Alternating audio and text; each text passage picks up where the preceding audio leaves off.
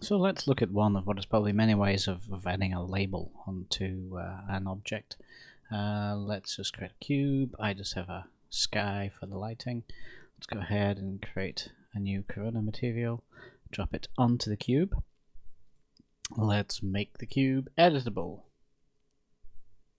Now let's move over to customization, layouts, BP UV edit. And the first thing I'm going to do for this is uh, give it a UV map. So I'm going to select either of these two options. Uh, and in this mode, these become available. You can see up here the various um, effects of uh, applying texture that way. I'm just going to use box. I'm not going to go into the depths of uh, UV unwrapping. There are plenty of Cinema 4D tutorials out there for that. It's uh, purely a Cinema 4D issue, so I'm uh, not going to explore that, just going to use my simple box mapping. Okay, uh, what I'm going to do is uh, enable this material for editing. Just select the materials tab and click here for me to be able to body paint on it. I am actually going to do file, new texture, and stick with the defaults. You can make it larger if necessary. Okay, and here we are. Um, I have my box layout superimposed on that. Uh, if I change to one of these modes, um, that's something I can turn on and off here. But what I actually want to do is have that show up uh, as a, a, layer in the uh, texture. If I pop into layers, you can see right now I have just one background layer, solid grey color. So let's do layer, create UV mesh layer, and that gives me my layout of the box, which I can turn on and off as a layer in body paint. And with this done, let's go ahead and save this texture as a Photoshop file. And I'm just going to call it BP UV test. Now what I'm going to do is pop on over to my material and I'm going to load in that uh, BP UV test. And uh, we can see it's in the viewport. It is of course gray and uh, let's just uh, load it back in here. Uh, it's just gray with uh, the uh, oh, that didn't. It's not what I meant. Hang on. Open texture. Grab that and just turn that off. So it's just the gray with the white. It's not very high resolution. We can change that if I up the preview to uh, to make it match the size on disk.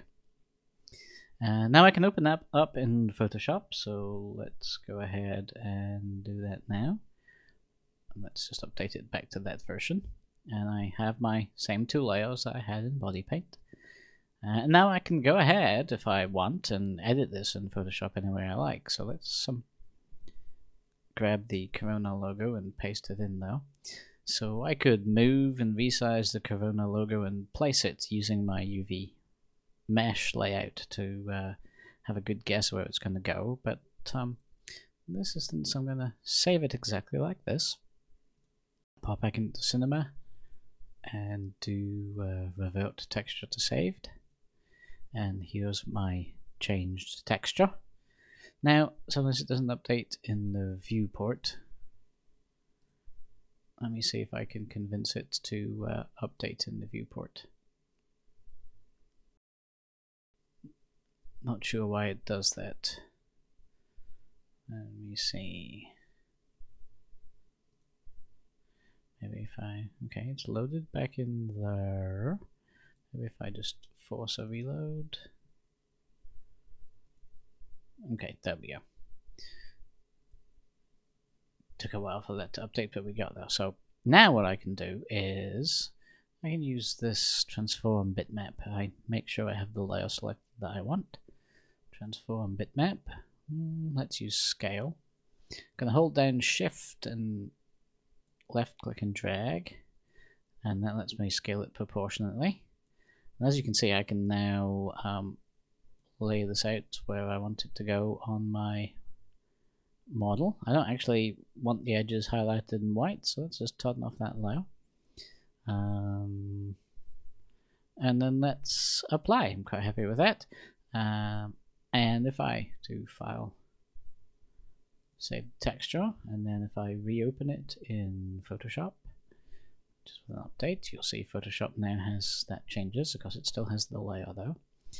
So uh, that's ideal if I then want to, excuse me, if I want to go and use this as a mask so that I can adjust reflectance or add bump, I can work from this Photoshop file to generate that. So right now I'm just adding the labels if it was uh, color in the diffuse channel, but from this I can produce masks that I can use to make this metallic and the rest of the object non-metallic or similar. Um, pop back in here, and of course I could uh, duplicate the layer and I can move it. Uh, I can decide that this one should be rotated. Again, that's the transform bitmap. Rotate, if I hold shift, it'll rotate in steps. Uh, Let's uh, do that again. I managed to managed to mess that up. I was wanting to move it and hadn't disabled the rotate, so let's rotate it in steps. Let's apply. I'm back into move layer, and I can adjust that where I want it to go. Uh, and of course, it's uh, it's body paint, so uh, we do a, a, new layer, and it means we could actually go ahead and uh, paint onto uh, our object if we wanted to. Uh, and I can turn that on and off. Uh, so that's one way that you can position a label exactly where you want it. Um, save it out as a Photoshop file of a, of a TIFF file, and you could use that to create masks uh, that match up with uh, where you've positioned the uh, diffuse channel in order to uh, create different materials. So, make, so you can make your label, your decal, a different material um, than the ones around it. And indeed, here's a quick test. And just render out. I have a mask I created from the uh, PSD, um, which just looks like uh, that. I have um, loaded that into the refraction color.